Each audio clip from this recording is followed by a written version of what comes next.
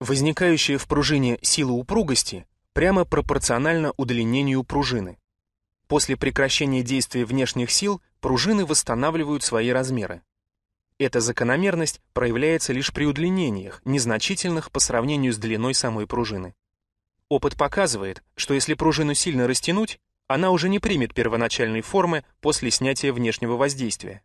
В этом случае говорят, что при деформации пройден предел упругости.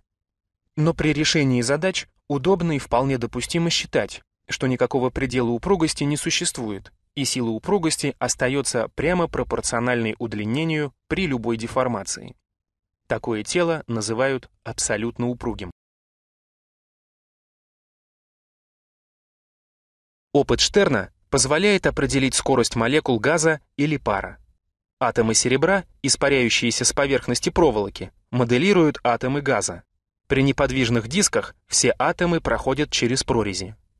Отбор атомов по скоростям происходит при равномерном вращении дисков, что и позволяет подтвердить распределение Максвелла по скоростям и оценить наивероятнейшую скорость молекул газа.